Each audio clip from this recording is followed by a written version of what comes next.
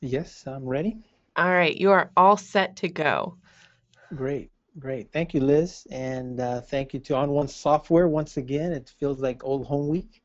Um, and welcome to all of you listeners. It's great to uh, have you join me today. And of course, uh, I'm always excited, especially when there's new products that come out. And now we're introducing once again the Perfect Photo Suite 8. It's uh, it's been a long time, and there's new products, new exciting thing for us to work with. And so I'm glad to be able to share that with all of you today. So first thing first, for any of you who've seen this before or watched me in the past, uh, I am a professional wedding photographer and studio owner in Southern California. And uh, my studio is basically a pretty much 99% wedding photography based. And um, throughout the week, not only are we doing what most of you are doing, meeting with couples, but we're also in the world of designing and uh, building albums and editing and retouching. So this is why this is exciting to me is to be able to share one of my favorite tools. And, and I know most of you, we all use, of course, uh, Photoshop and certainly if you're using uh, Lightroom or Aperture to convert your files. So I'm going to kind of give you in this short time we have together as much as I can. I, I, I, don't think I can do some heavy lifting for you, which I you'll see here in some of my images. There's some that that I've actually in the past uh, featured that go from you can see an image that's uh, a snow-filled day, even though we're in California, uh, to just some dreamy, relaxed images. Uh, enhancing colors is also lot of our favorite features to do um, skies, enhancing skies, adding skies. These are some of the features that I found you know, using the Perfect Photo Suite um, in the past. And so as we've gone through here, you'll see textures, um, softening is also part of the big products that are in here. Um, again, just kind of adding more tone and depth to these images.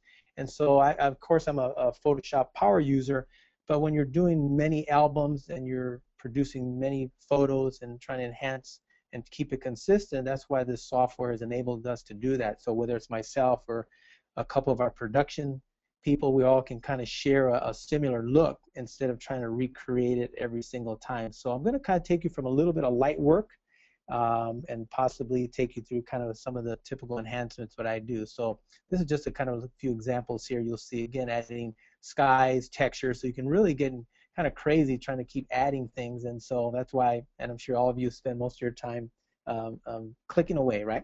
So let's get out of here Lightroom and let me kind of back out for a couple things. So first and foremost, for and again everybody that's online, there's a different probably level of photographers. There's ones that maybe don't work into um, in Lightroom and maybe don't do Photoshop, and so the Perfect Photo Suite 8 is certainly a standalone. So this works great.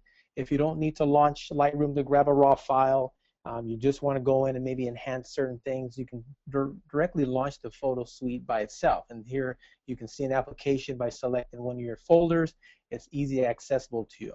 Now, most of us that are doing um, Lightroom work, obviously, by simply doing the same thing here. Let's go into one of my folders that uh, has our images ready to enhance. Now, of course, all the files that I have are raw files, so that's usually a question I get all the time: Is this only for JPEG? But every image that we work on are raw files, so we'll, we'll touch base on how those are being created. But most of the time, again, it's usually working on a single file after I process the proofing. So I'll talk about that in a couple seconds. And then, of course, any of you power users, if you are already using Photoshop, this is the same thing where it all started at. We're using the Creative Suite, Adobe Photoshop CC with the bridge as well. And so this is quite simple. Same thing here. It, it'll dock right here in your panel.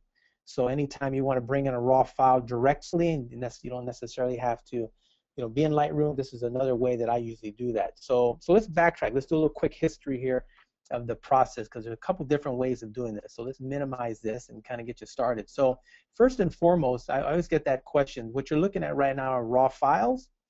And the question I always get too is, you know, when do you do the enhancements? When do you do the retouching on these images? Well, I guess just to throw this in here, you know, most of us are photographing numerous amount of photographs, whether it's at a wedding or engagement session. So um, the first and foremost, most of us are very familiar with uh, converting our files. So this is maybe the file that you obviously brought in. You know, I'll go through the develop module quickly, the same thing as most of us will do. And inside the same thing as I will go through with proper white balancing, lightening, darkening images, pretty much just a minor detail and that's usually why I'm in Lightroom most of the time is just to do that proofing, if you would call that, for the for the bride and groom to view the first time. So most of my processing is either going to come by simply using uh, a raw file later on, bringing that into Photoshop, or obviously I can just launch directly the Perfect Photo Suite directly with a raw file. But mostly in here, I'm just usually just doing the normal uh, conversion. I call that. I don't spend hours trying to enhance every image, even though we've got adjustment tools and so on. I usually just keep it standard. So any of these images you see are pretty much just standard images. There's nothing done to them. And in a few minutes, I'll bring an image like this in, and we'll end up with something like this in the in the perfect photo suite. So let's kind of get started. I'll, I'll work once from from Lightroom, and then I'll move move on to um, to Photoshop as well. But again, it's there's two ways of doing it, and this is just my preference. But once again, when I make the conversion out of Lightroom, they're just neutral images. I'm not trying to enhance proofs. And the, and the main marketing tip to that, just as I can make a quick note for you, is that you know I don't want to enhance the proof so much that they don't come back and want to order enlargements from you. So anytime I offer to do some of these um, what I call different enhanced files, it's because they're required to either purchase a photo or it's an image that I will actually put into um, to the album. That's many times when we'll do the actual enhancement, but not in Lightroom. All right, so let's do. Let's start with an engagement session. I just want to show you just a quick image on um, a close-up. Let's kind of move over to one of these files here. Let's find one and pull this here for. Let's just pull this one here for. I'm going to try to work on like three different images. I'm going to start out with just a little quick toning, and then we'll move on to some more enhancement. But the way I achieve this is once I've already done, as I mentioned a few seconds ago, I've done the color balance on the image again gone through these series of sliders to of course whether I'm opening shadows etc that's another seminar on its own. But then I'll come up here to the file menu and click on plugin extras. Now in the suite you'll notice I can either launch the entire suite let's close that panel sorry and uh, there we go and launch the plugin extra that's where you locate it or I can go directly into one of these applications. So if you launch it directly like that it'll obviously now give you the whole suite. And at that point, you can decide whether or not you want to uh, use one of the effects. You want to go into the perfect portrait. So I'll show you kind of one of my favorite here. So I just launched it, what you saw earlier. If not, I could have gone direct right into any one of these applications, right? So the first question I get is if I just want to simply add, you don't have to get crazy with adding textures, but I one of the favorite features they've always had, and it's probably been at least in the third or fourth version, is kind of adding some type of kind of vintage style to the to a photo. So if you go into basically here it is, the um, enhance is one of them. Is I can do one option, and all you to do is just click once, and it'll load that image in there as well. Now the benefit of using Lightroom is a copy for us as well. So you're not you have an option, and I can show you that in the, in the next version of editing the original, but most of the time we're making a copy. So here, even if I weren't going into Lightroom, I just like to show this feature, using, using the Perfect Enhance, I can still make the adjustments here. So this is obviously clearly for people who aren't converting files, they're maybe JPEG shooters, I can still make enhancements in here as far as just the tonality, opening up shadows, darkening shadows, so that's one feature here, right? So obviously if you're Photoshop Lightroom users, you won't need probably go in this direction, but that's an option that I'll sometimes use without even launching uh, any of those other applications. So that's why I love being in this suite. So if I do make adjustments here, again, even on warming up the image, you've got the full color temperature here, changing the tint. What I like is this slider here, I'm talking about vibrance, because a lot of times when you're adding vibrance, it's accelerating all colors. And as you probably know, in, in using Lightroom, you know, when you see a saturation slider, saturating is saturating the entire color tones. It's everything that has colors being saturated. Vibrance usually just usually adds colors to the less colorful tones, but this is one feature here that they've added called Reduce Vibrance on Skin. So by clicking on that, you'll notice, and it's very faint, that it'll remove some of that excess vibrance that you've added there. So that's a really unique item as well.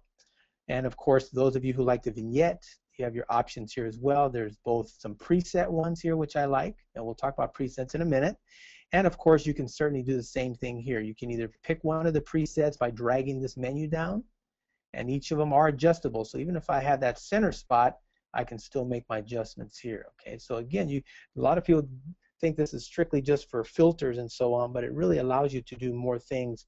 And even if you're in here and you just needed that extra adjustment, it allows me to do that too. And same with here, it gives you the choice of doing it kind of subtle of course, soft. So you have all these options here. And let me just add one more quick thing too. Why I've always been attracted to this Perfect Photo Suite is because you know most of the actions you have are a single click, um, maybe a global adjustment. Here, every most of these features are all paintable. If you go over to the tools section here, you'll see you'll have options of using your retouch brush, erase tool, cropping. So there's other options here, not just adding filters. So I've always enjoyed that because this allows me to add more of a, of a retouch style, more of a, a kind of a uh, paint-in type instead of just the whole global effect. So that's why I really like this, uh, uh, the whole panel and the whole suite altogether. All right. So and of course sharpening is another option. I usually don't do sharpening until the end in, in Photoshop, but that's an option if you prefer sharpening advanced. So let's say you've already made your little minor adjustment. What's new here as well is you can either hit apply and that'll return the results obviously back into if you were in Lightroom or what I like here is you click on this little arrow and it'll now allow us to do, which I think was a great idea, is not only apply the effect, but see now to let me move on to the other options. So in this case, I'm really trying to get into the perfect effects because I talked about adding some type of vintage filter to it. And so I could have went directly to that when I hit plug-in extras in, in Lightroom, or I just entered the whole suite so I can show you this feature that allows us now to not necessarily go back to Lightroom, then have to come back again, but apply that single module, as I call it, that application, and then let us now use some of the other items in the suite. So that to me was a great feature right there. So, okay, so now as you can see, for those of you familiar with this interface, you still have your filter stack here. And um, and if any of you are again new to this, you can. There's some great uh, videos on there. Both Liz and Peter or I should say Dan, have put together some great videos on tutorials on each of these modules, but um, it pretty much works that same. You've got each stack where you're applying each of these presets, and then in a second I'll show you the filter options as well. But here's where I was trying to get for you. One of my favorites was the vintage filters. And the other great thing is same thing. This has been probably one of the leaders in, in both the plugins and some of these filters is that they've allowed us to look at single view. So even this little button down here, you check this, which looks like little boxes, that now allows you to look through here and pick out exactly which of those filters you want, and it'll let you, by clicking it, still one more time, I always have a habit of double clicking. When you double click, what that does, that applies the filter. So if you just single click, those of us Mac users are all into double clicking, then that lets you just visualize in advance. And so I believe that you were the first ones to kind of apply this so you could see what that looks like in advance. So if I want to go with this blue yellow, then I would just click it, which I applied there, and it leaves you here on a single stack, well, we're used to calling that layers. And what allows us to do the same thing. This is the other thing that, that has made this suite so popular is not only are we able to paint in certain effects instead of global, like an action of some type, uh, but you also have another important feature is all of our blending modes that's been very valuable as well. So not only do you see the effect here, but simply by scrolling down, this is basically a live view, just like you would do in Photoshop, and now make your choices. And I, you know, I like most of you, I, I experiment a lot. I go through each one of these. I lower the opacity. I max out the sliders, which you'll see in a few seconds. So do the same thing. I do a lot of clicking and experimenting to see what each filter will allow me to do. So once you get this effect here, and if for some reason you want to choose a different one, all you do is just click that, and now it'll apply that effect here. Now the way you stack these is you see there's a plus and minus button. So if I didn't like that effect, I can hit minus, which which I just did. That will remove that. If I hit plus, that now adds me an empty layer. Okay. So in this case, let's add that filter back in there. I just clicked it. There's your filter there. And so once again, I have a couple options. If I want to add an adjustment brush, you notice here it's added just like you would like a mask. It allows us to now paint in or paint out. And I certainly could have grabbed the brush here above if you would type obviously B as in brush. You've got an option of painting in, painting out. It's got that same great features. Same thing with your opacity. You can move the sliders here as well. And of course, your bracket keys work the same way in Photoshop. So we've all got that shortcuts. So you have that great feature where we've added now an option to paint out. Now in this particular case, I may not paint anything out until we get to some of the other effects, but that's another great feature. And if I don't need that, certainly I do the same thing. I can remove that. So here's one other last feature, because this is really just to show you a single global effect, which I know a lot of you are used to, but this is just a simple way of adding some of these. Now, the other great part is here is I can adjust even the amount of that filter. Take a look at all the different styles. Even though you've already pre-selected on the left, you can come in and create and adjust your own. So some of these I've done, let's say I've done this effect here. It looked, wow, I didn't really like that. But now I can come in here and adjust just the amount that I didn't like the part of that, right? So this allows you to create your own, and you can actually save these as a preset as well. So if you click under preset, and let's say that's the look that you like, and you like that tone after you've built it, then you can save that, and then later on you can come back, click on your presets tab here on the left-hand side, and you can see here where you any of the ones that you've created. I have here Frank's preset MacBook Pro. So those are the ones maybe I've created in this section myself. And so it allows me now, if I'm doing an album and I have multiple photos, I want them to look the same. So you can play all day long, but certainly the whole goal is to create a consistent look in the album. So that's why the preset portion is so important. Okay. So again, I invite you to play with some of these sliders, and there's certain recipes that some would call it, certain adjustments, but here we call them presets. So I always say same thing. You can you can play with these presets when you first use the program, but I find myself many times by coming strictly to here, look at all the features I can uh, add to this, which we're going to come back in a minute into the effects and adjust and add and build presets on my own. So I've kind of do a little bit of both. These presets on the left will get you started, but obviously as you get more advanced, you're going to find that you find yourself many times in this panel. Okay, so let's get out of here. This is just was a quick, simple one showing you how this is integrated between using any of the, the applications within there. So if you want to keep this, you hit apply. I'm just going to hit cancel. And of course, are you sure you want to cancel? So I'm going to say, okay, right? I know a lot of us have not hit save before, and we know what happens when you don't hit save, right? Okay, so now here's another approach. So let's go back and grab another file. So if you are in this application directly, I can hit browse. And here's a little tip for any of you that are PC users. If any of you are PC users, if you ever open a folder on your desktop, you'll notice that you cannot see a raw file right? You'll, you, there is no thumbnail preview unless you have some third-party application. So many times on my PC, I'm using both uh, platforms. We use PC and Macs. And so for those of us in my office that prefer the PC, they'll open this as a browser. Now you can view your thumbnails here, and you can adjust that accordingly. As you go larger down below, you can certainly do the same thing here. You can go single, toggle back and forth. So this allows you, if you're a PC user, to look at that image right away instead of having to bring it into Lightroom and so on. So that's a little quick tip for those PC users, but Mac obviously allows us to look at, a, at that in advance. So, all right, let's go into another one before we get into a, kind of some heavy lifting stuff. Let's look at that perfect portrait. It's another one of my favorite ones. It's a very quick, easy one uh, to use. And so I'm going to pick a head and shoulder of a bride. And so in this application, if I'm inside this application, not instead of, I should say, Lightroom, it's quite easy. I've already selected the folder here on my desktop here. I've come down to my folder on the desktop, navigate there, and once again, and there's that folder. So all I have to do is select that raw file, and in this case, I want to enter the perfect portrait. Now, see, here's where I wanted to show you earlier, and I bypassed this for you in, in Lightroom, but it's going to allow you that option. So if you want to edit as a copy, you, it allows you to do that. You can edit the original, which usually in Lightroom, these features are highlighted because maybe you're going to bring in the the uh, the uh, Lightroom adjustments with you, and then it gives you those options in Lightroom. And here, since I'm already in the suite, obviously it's just going to edit as a copy. Once again, you can change here if you prefer a TIFF or JPEG file. Obviously, most of us prefer the PSD file.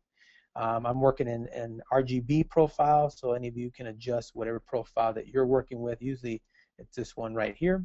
And then same thing here, whether you work in 8 and 16 bit, so usually I try to use the maximum uh, opportunity for me, so I'll go with the 16-bit for now. When I get into Photoshop, as you many of you know, some of those tools will be um, black blanked out. You can't use those, so usually at the last minute I will convert back to an 8-bit in Photoshop if there's certain tools that won't allow me to to use them. So, but I'll do that at that last minute. So let's click OK. And let's have some fun here. Let's do a little quick retouching on the face. And I really like this one. And for those of you who have already played with this um, retouching part, you'll see why. I mean, it's this is probably one of the most, uh, probably the best one of the face retouching uh, tools that I've ever used, mainly because it's detecting the face on its own by strictly, once it's launched by itself, you'll notice that it's already detected the face. Now, up here, and you look in your tool well, as we call it, you notice this first one, that's the one that's your face detection right there. So if you have multiple faces, you click this, and if there's three or four people in the photo, you can click on each one, it'll detect the face. And of course, down below will be your face edit tool. That's the one we're going to work on once we get obviously into this photo. So let's click on that and just a little quick retouching on her face. This is how easy it gets. I'm going to remove this little key thing here for you. Now take a look what it's done already. It's already detected uh, many of the features that you'll see listed here. We're going to go through on the right side. So it's already detected the skin. It's going to let us do some color correction and even work on the eyes and mouth. So for any of you who have not seen this yet, this is the magic part right here. It's already pre-selected that. Now the way you know that it's done that is take a look at the mask. Down below, as I click here where it said after, I can ask it to choose any mask color I want. So if you prefer to use like Photoshop, the red mask, it's now showing you right here all the areas that are in red are not affected. So the areas that are are obviously the ones that are. So now by simply painting in, you notice up here, let's go back up to the top, you see where it says mode, not skin, or add to skin. So this is the hair. To me, this is not skin. So when we do some right now adjustments, I want to make sure that this is not being affected. Now, do you notice right here? I've got my mouse trying to trying to hide the skin on her neck, perhaps, or and it's not working. So here's another unique feature right here called the perfect brush. That one allows you, if you check that, eh, to see what it says there, it's doing a self-masking for you. So whatever area that your that little arrow in the middle is touch or actually it's a little marker there, it's not affecting anything outside of that. So here, because it's similar to the outside here, it's not affecting that. But if I turn it off, then now you see that it's not trying to guess what section that it's trying to mask in. So if you want to click that both ways, it works if you're trying to affect other areas and trying to avoid other tones, and I'll probably show you that later on. Uh, but if you go through here, right now what I'm doing is I just don't want the other areas affected. So when I'm going to add some softness, anything that's in red right now won't be affected. Okay, and it's done a pretty good job. You see, I can just clean up a little bit. I, of course, I'm going to spend more time later on, but right here I can kind of make sure that it's not affecting anything else. So right now, when I come back in here to after, and we make these adjustments, it's going to only affect the skin area. Now, one quick thing to clean up here, let's zoom in a little bit by obviously hitting your Command or Control plus or minus here, and it's going to clarify here for us. Now, the next thing we want to do is you notice we want to kind of clean up some of that area there as well, and, you'll, and I'll explain some of these other features here when we get into more of the other options here on the right-hand side. But basically what you're going to do now is we want to get into cleaning this up here. Okay, hold on, let's get this here. Oops, let me go back to here. There we go, it's thinking here. Let's go back to that mode. Sorry, I clicked it on this. And the other thing about this too is that a lot of photographers enjoy is that you can paint in these effects. You'll see under each panel here up on top, each one will have its options here. So whether you lower the opacity, you keep the feathering to your choice just by using it's kind of like what we call in Photoshop the scrubbies. And then of course the size of the brush can obviously be used back and forth. But what we're trying to do right now is adjust this around the eyes. Okay, so this makes sure that right now when we go to the panel on the left, I can kind of clean that up a little bit. It takes a few seconds. I'm always rushing. I don't know about you guys, but I'm like, come on, let's get this thing going. We got things to do. So you notice that one dot in the middle, that's where you line that up right in the middle of the eye. Okay, so it does a pretty good job. Look, I didn't really have to touch the one on the left. And then same here with the lip area because it's going to enhance the colors of the lips in a few minutes and even the teeth area. So I'm trying to make sure I clean that up perfectly. So if you notice here, takes a few seconds just to get that just right. So when you come over on this section now, and just quickly to go here through, I won't go through every single one, but basically it's detected the face, the skin for us. And so the first thing is there's a, one of the popular ones that they created as well is the blemish slider. Now granted, if you have a client that has excessive blemishes, we have a couple options here. One, we can obviously come up here and grab our retouch brush. This actually does have a retouch brush in it. So if I want to come in a few minutes and clean up some of these areas, I can do that before I actually start doing some of these other sliders, okay? So I can click on this brush right here, and you'll now notice that in a few seconds here that allow me now, it changes over. Just by clicking on here, I can now remove some of that. So again, if, if there's a client that has some real heavy work needed, certainly I probably would have done that in Photoshop in advance, but if there's some last minute cleanup I want to do before I start softening, I can come through here and do that in advance as well. Okay. So again, these are all these great tools right here without me having to leave into another application. So there you go. So I just did that real quickly. So let's go back and click here and now allow us to make our adjustments as we were earlier. So same thing, it retains your masks here. It's already retained that.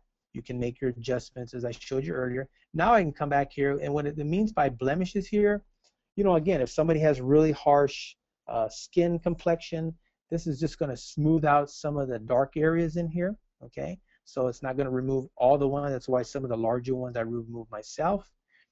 Smoothing of the skin. Now here's the thing that I, I always, you'll laugh with me when I say this, but I always share with everybody when, when you're doing any of these, especially with the software like this, is I always max out every slider. And I, and I joke about that because I say that's how I get my money's worth, okay? Is I always max them out. Don't be afraid to experiment with these sliders because you won't know until you maximize what it looks like. Granted, that was too much, but now you can say, hey, what is this effect going to look like? I'll zoom in, I'll zoom out, and make my adjustments accordingly, right? I don't want to get too smooth. I want to keep some texture in the skin. Same with shine. If you notice, most brides have some really great makeup done, so you're not too worried about that so I can adjust some of the shine there if I feel it's needed, kind of mats that down a little bit. Same with shadows. This will kind of soften the shadow areas a little bit, if you know, just some of them that are a little bit harsh. Certainly, uh, it's not going to uh, fix anything that's been, you know, not done photographically correct. Here's another major feature that I don't think most of this third-party programs have at all, and it's called the texture slider.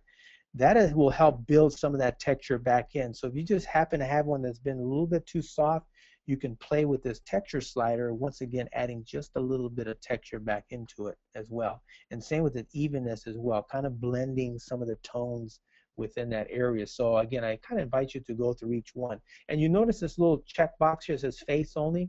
So if you don't, I know earlier we kind of already masked out this area, but this one obviously is another area you can click just to make sure, and it's on by default anyways. Now the last two sections are pretty self-explanatory, but they're pretty amazing too. So let's say you wanted to do a little color correction. You want to add a little bit of warmth. I can move up the amount a little bit. So if you just want to warm it up just a little bit, you can see here you have that option of warming it up just that right amount. Now, what ON1 has done from day one, from and, and I remember their first softwares, is they've actually kind of analyzed. They went through all the different skin tones in advance. I've seen this feature in each one of their suites as they upgraded. And You notice you have the different ethnicities in here, and it, it already detects it by default, which is quite amazing. So that's what I enjoy too. You can kind of experiment. So if you have someone a little bit darker complected, again, you can make those adjustments. But most of the time, it does a pretty amazing job detecting that for yourself. So that's how I'll do that. But I think most of us, once again, if you've done it in Lightroom, some advanced editing or enhancements, you've probably done a little bit of color correcting there, but this feature's there for that. And then last but not least, which is my favorite, this is, I don't, again, I don't know how to do this any easier time, time consuming wise, having to do it manually, is same thing with the eyes. If you turn this off, let's take a look at the eyes here. You know, it already kind of defaults. So if I can kind of zoom in here a little bit for you guys, there we go and that's turned off. So it kind of defaults that but I'm going to max it out so we can make it look really scary for you guys here. But you can see it's already done that. You see the before and after? If I hit the preview that's before. Even look at the skin complexion what I've done. I'm hitting the command or control P. Look at what we've done so far. Now if I wasn't talking of course I've probably already done this in seconds for you but it's cleaned it up. And look at the texture. It's already kept the details in there for me as well. That's what I like about this soft diffusion uh, part of the face is it's kept the integrity of the skin. So you've got the whitening of the of the eyes, which obviously I don't get too crazy there. And then even with detail, this one I love. You notice that it's put that center dot right in the middle of the eye, so that's detecting that. So by moving the detail, now it's kind of sharp and it's added contrast to the eye. I'm exaggerating that for you because remember I want you guys to see that. And now obviously want to back that off, but look at what it's added. It just pops the eyes so let's look at that same thing. There's your before, and then there's your after. That's great. I love that. So people say, how do you get the eyes so crisp and without over sharpening the whole image? And I think that's what happens in, with uh, some of these images. We over sharpen the entire image, but in most cases, the viewer, your client, look at the sharpest portion of a photo, and when your whole image is globally sharp, it kind of confuses the eye. But if I back off and back down and just look strictly right at the, let's go here to the before and the after. If I look strictly just at that, and we'll do that in a minute, you'll see you're just looking right at that. Let's finish this first, and I'll, I'll turn this off so you can see that. All right, and then last but not least here is how about working with the teeth? And I know same thing here. If you max this out, see that? Obviously, it's got that super white look, and if it's too white for you, same thing, you make your adjustments. And then the last slider is the vibrance, which is now working, adding a little bit extra punch right here to the lip color. So basically, when you've gone from that instantly, okay, let's come back over here. Obviously, we don't need to retouch. You can hit H here if you want to move around in your image here. But there's your image. So let's take a look at the before and after. I'm going to zoom in here a little bit for you, and then we'll bring another image and have a little bit more fun than this, because this is easy. So here, if I hit the Control or Command P, there's your before. Take a look at the skin. We did a little retouching on the face, even here on the top. Even with that blemish slider, it can remove some of those darker areas. And then when I hit the Control Command P, here we go. Let's come back into here like this.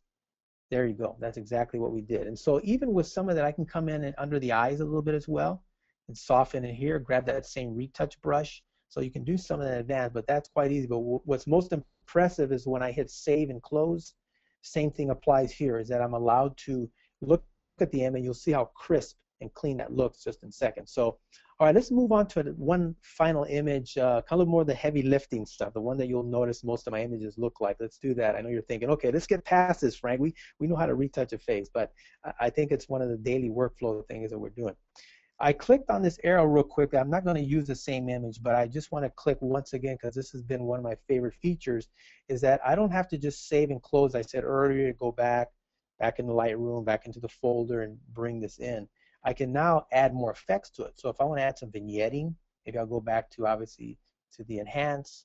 If I want to add a, a texture, I can go back into the perfect layer. So I have all these areas I can keep adding without necessarily doing that. So in this case, I'm just going to cancel it because we don't need to save and close that. And let's bring in an image that's kind of one of the kind of one of my signature panoramic images, so you guys can look at that as well. So once again, if you go into, let's go to Lightroom. I know a lot of you probably use Lightroom. And let's pick an image in here for us so you can see basically what we want to do here. And let's pick one here that's kind of fairly easy for us.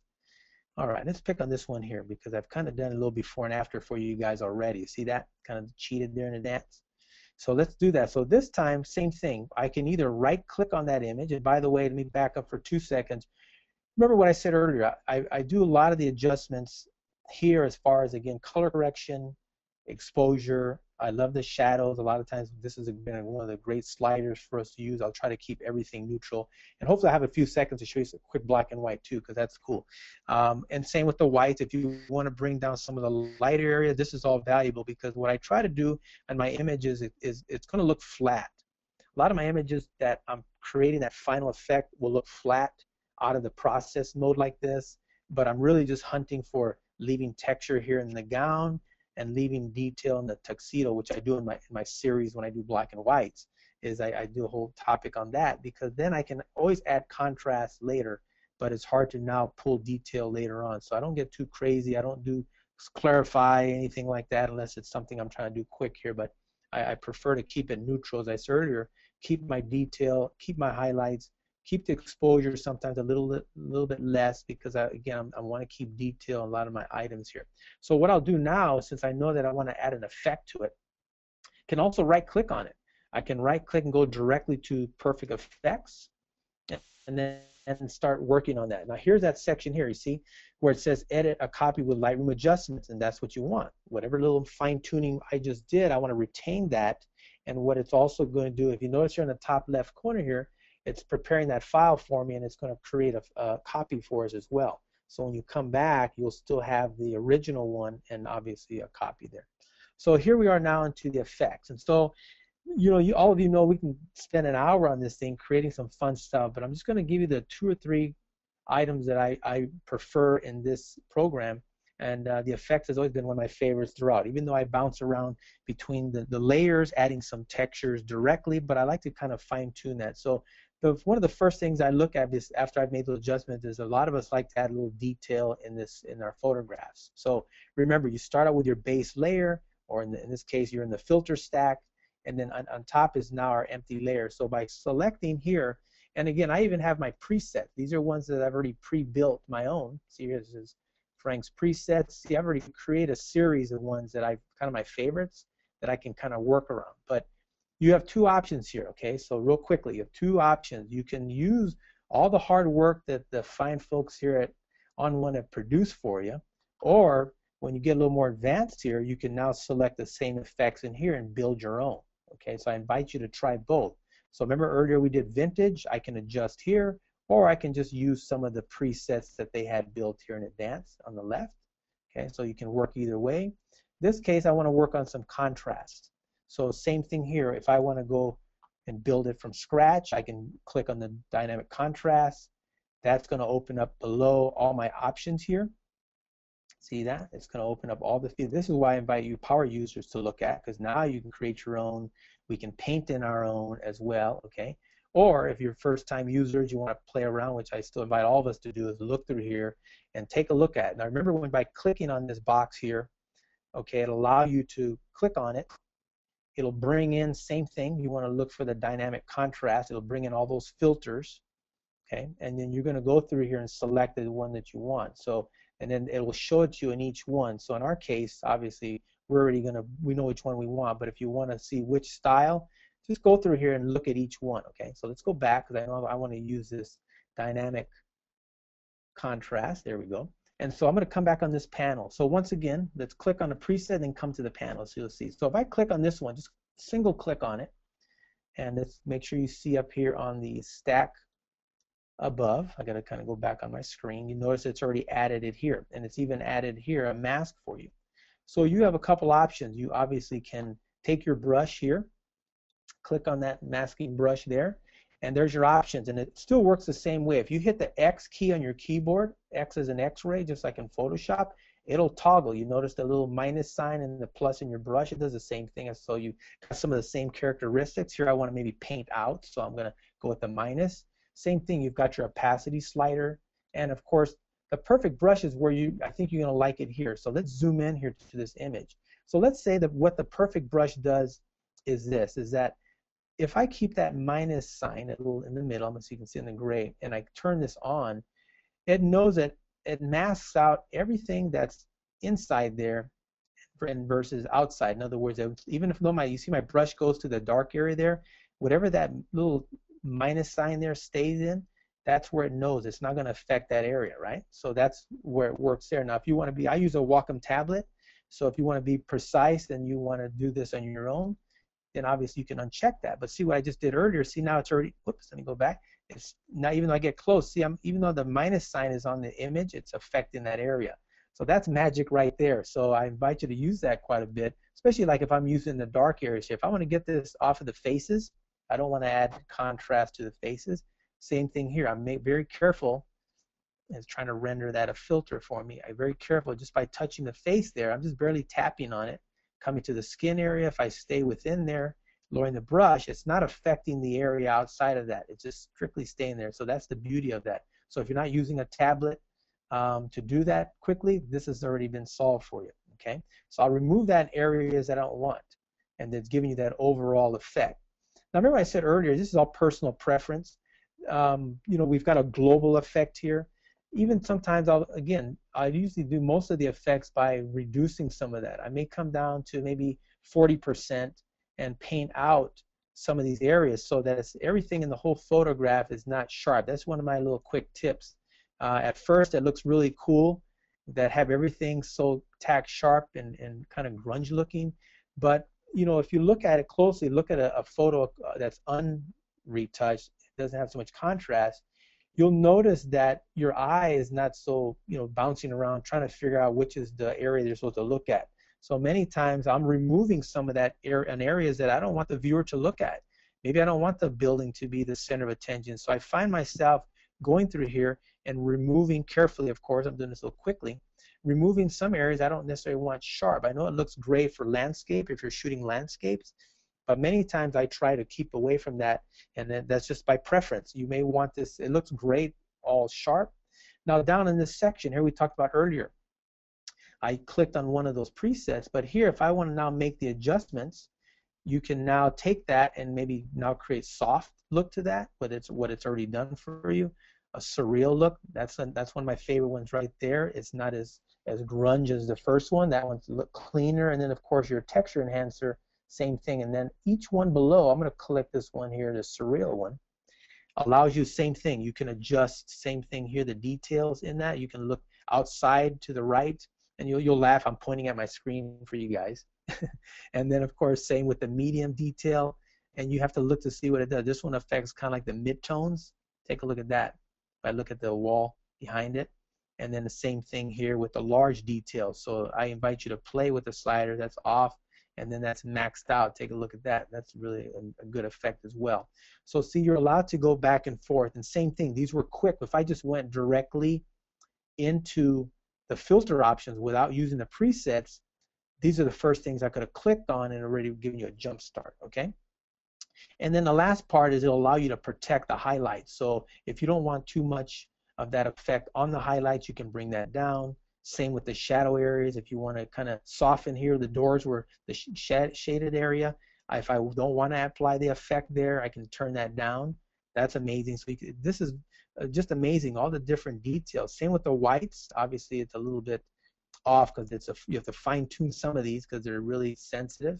But if you want to remove it off of there, and then obviously with blacks, and then vibrance as well. Sometimes I don't know if any of you, have, I'm sure a lot of you have paid attention, but you notice when you add contrast to an image, it bumps up the color. So there's many times where you're in Lightroom, for example, and you've already have a high contrast image that you've done, uh, and you've color corrected, but now the coloring looks a little bit too warm on the skin tones that's where you, I find myself sometimes backing this off. So if you're wondering why would they put a vibrant slider inside here, this is not, you know, you would think traditionally this is not an area, but if you notice that's a fact that anytime you increase contrast, you know, the, the software, whether it's Photoshop, Lightroom, is trying to interpret what, it, what does it mean. Contrast can be increasing shadows and the darks. It can also mean increasing whites and highlights but there's also contrast colors. So that's why if you ever notice, wow, why do my pictures increase in saturation? It's because contrast is global. It doesn't understand necessarily if it's a tone or a shade of color. So this is brilliant for them to do that because take a look here. If I bump this up, look at what it's done to the doors and the skin tone. And hopefully this is not too far for you guys, but it's really oversaturated that. So again, you'll find a lot of my images that after I've already added the contrast, I find myself backing up the vibrance or the color hue saturation tones because of that reason. Interesting, but that happens a lot. So if you look at your picture and go, wow, that's real, really colorful, that's what happens. Okay, now let's add one more thing. The other beauty to this here, real quickly, is stacking. I mean, look at all the different, if you haven't had a chance to go through here, look at all the features. I wish we had time to click through every one of these, but you know, basically I, will go through each one of these, click at it, look at it, add the, the textures, make the adjustments. So let's add one more effect here. Let's, some of my, let's add a little texturizing to this as well now. So if you go through here, same thing. I can select one of the presets they've chosen, or come back here. Now make sure, by the way, see here, if I click this once, it'll obviously add my another stack here, but to be sure, what I'll do is I'll hit plus. Now I've got a separate stack layer, if you want to call it you notice now if this has been empty here's blank so that means that had I changed this beforehand it would have manipulated what I had on the stack by by hitting the plus sign now I start from scratch and add a new stack which means I can add a new preset okay? So you got to make sure you do that or trust me many, many times I'll just keep clicking away and I'm like what happened to this layer? What happened to it? And that's why. You either make sure you have to add that or you'll be wondering all that hard work you just did. So let's add one more. So let's add the texturizer. A lot of you will like this one because this one is, has a lot of the goodies in here of adding effects. So first of all, you have your texturizer selection. Now it's going to ask you what type of effect do you want on here. Okay, so by clicking on some of these things, you can select, do I want some of the papers? Do I want some of the different warm colors in here? Okay, you can just keep clicking through each one to see what kind of look that you like through there, right? And once you've done that, same thing here. It'll ask you what style you want. You can select the ones, a whole library there, okay? So once again, if that gets too confusing for you at first, you want to see what it looks like, then again, I can minus this. It removes that. And now if I come back here, I'm going to look at all the options here. I'm going to come down to the bottom because this is giving you all the features here, every single one of them. So you literally have to go through each one and look at it. So if I click on some of these, you'll notice some have warm tones to it. That's why I spend hours in here. I'm like, wait a minute, this is too much fun in here. So I'm going to show you what happens here. If I double click that, it'll now add the a layer for you. Okay, so that's the secret. If you single click, it's going to keep it's going to remove that here. But if I double click, it's going to add that layer for us. So you can do it either way. You can add a plus or minus those layers. Okay. So now when I'm on here, I can now start editing this for me. Okay. Now obviously this um, gives you an this one says master. This does the whole thing. So whatever you even did below, you can reduce as well. Okay. So you have that option. Okay. Let me. I'm going to go this way as well. I'm to remove this here you can notice that what it did here, let me back up because it's actually added it to that feature. So same thing applies here. If you hit a control um, to that, control Z, it'll keep going back for you. So I did that as well. Let me hit plus because I don't want it to affect this layer by double clicking it. So now I can click it here, single click, and make sure I have it as on a separate layer. So it gets a little confusing because if you're double clicking or single clicking, you're going to say, wait a minute, did it just add it to my layer? So I too have to make sure I'm going to keep this on it separate. Why I noticed that I didn't do that correctly because now you notice that I had only the master opacity slider affected, which means that anything, these two effects that I've done will reduce those two together. Okay, so that's what brings that to my attention. Now that the layer opacity is highlighted, now that I've added, made sure that I kept that texture on its own layer, now I can reduce that on its own. There you go, just like that. That's what I was looking for. So now in this case, not only do you have the effect, but now the blending options you can work as well. This is how I get some of those darker tones. So if I want to go multiply, you want to go darker color on that, I can play with that. This one I'm going to go multiply. I'm going to make it a little bit darker.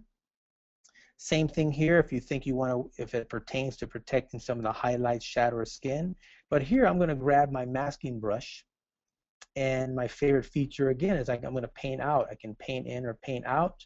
I'm going to zoom into this here one more time. Use my air, uh, my bracket keys left and right. Remember, I've got the perfect brush.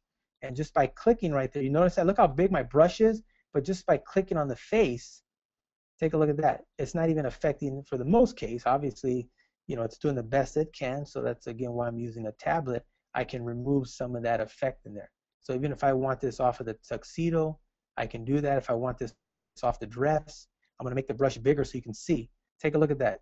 That minus sign symbol is right in there and it's not even affecting below that. And had I not done that, obviously it would have already affected out there. So this is how I'm able to get some pretty good masking and make it look like, wait a minute, was that actually that dark in advance? Was it actually that light? And you really can't tell. Okay. But if I had not checked this, again, take a look at it. If I came here, click one time, See what it's doing here now? It's it's already went out surrounding the areas, and I don't want that in the image. So I'm gonna Control Z there. So there you go. Now, if you want the same thing, you come back here. If that's a little bit too strong for you, you can kind of back this off a little bit. Okay. Or if you prefer it that way, you can change your blend modes. But ultimately, it's these blend modes that make a difference. If I want to brighten it, I just kind of play with the different features here, adding a little bit of color, the different hues in there. These are things that, again, you can go crazy with. But for the most part, the treatment is kind of like you're in Photoshop because you have the features of both your layers and your blending modes, and that's what's great for me. So again, I can keep adding stacks to this. So if I see other effects I want to add here, I can keep adding. If I want to keep this, all I have to do is hit apply, just like that. And what it's going to do is now it's going to create this, and it remembers those layers for you too, by the way. So if I bring this back in here, it's editable in here as well. So for some reason you need to make an adjustment and the client says, hey, wait a minute, that's a little bit too much, I can come back in here as well. and make the adjustment too. So you're not limited to just that. You notice here it's creating a PSD here for you. And so again, it's fully editable. And if I take this into Photoshop, see here up on top, you have this. Let me hit the E key so I can get full screen. That's the original image, and that's the image that we just created. So you have an option of going from either taking this PSD into Photoshop or bringing it back into the effects. And there's numerous ones that I've done that are similar to that. Um, here's one, the same thing. I kind of was working on the sky a little bit. Here we go. Let's go to full screen. See that? But there's the before photo, just using one of the graduated filters and kind of darkening, etc. on there. So a lot of these are done right there. But again, last but not least, most of these effects, as I mentioned, are done probably when the client has already ordered a photo from me, and uh, and they've already said, okay, we want to do a wall portrait of some type, and then I'll usually bring that raw file directly maybe into Photoshop. So let's say that I'm here and um, give you a quick example here real fast. Let's say I'm here in Lightroom, for example, and and I'm not sure yet, but let's say, uh, and this could be probably from the client's file. Let's just say I maybe grabbed the raw file from the client, and so many times if I need to do my regular retouching first, I'll edit in Photoshop. That's where I'm going to do my retouching. Um, if I need to do like facial retouching or we need to remove something from the background, I need to liquefy somebody, um, which I know we never do, right? Then I'll start here and do all some of that, as I say, the heavy lifting I'll do here in Photoshop um, of some of the things that I can't. Then that's when I'll come in here to the suite and maybe that's my final, that's kind of like the grand finale for those of us that are power users. We've already adjusted this here. So if I said, hey, guess what, now I want to make this a black and white, you know, I'll click on that and now I'll come in here and you start working off of that. If I say, no, maybe I, I rather do adding effect, I can do that as well. But it's your option. Either way, you can select your workflow, whether you prefer to work directly in a standalone, whether you prefer to work in Lightroom, either one. I've got some great images either way. And um, so, yeah, so if there's any questions, again, I, I wish I could kind of go step by step. It, again, I, I, always mention that the Lightroom portion for me starts out by, um, again, a, a, very simple fine tone, making sure my whites have detail and uh, the darks have detail. And then when I go into adding the, the effect, you notice that you know contrast is going to build up quickly so you don't need to overdo that so most of these that I'm doing I'll make sure that I have detail in advance again like whether it's the hair see that I'll make sure there's detail and that's my secret. Before I go to any of these um, plugins or software etc I just make sure there's detail in, in all those shadow highlights because you're going to add contrast in advance. So anyway so hopefully at least one or two quick tips. I wish we had about six more hours and I could kind of give you a little more features there but I invite you to do uh, two things. One, obviously, if you if you don't have it yet, download the trial, play with it. I mean, there's no, you know, there's so many features in there. You've got to go through each one and, and play with each each of the sliders, max them out like I do. As I say, get your money's worth. And then number two, if you're already a user of this, same thing. You know that this is it's been inspiring to me because I, I can create a lot of these things in Photoshop, but the secret for me doing a volume of weddings is we need to duplicate this and if you want to create a style the presets have helped with that so again I invite you to try that and um, hopefully uh, you picked up at least one or two things. And um, thank you for listening guys. Turn this over to Liz and I'm sure we'll have some other ones uh, soon. Thank you guys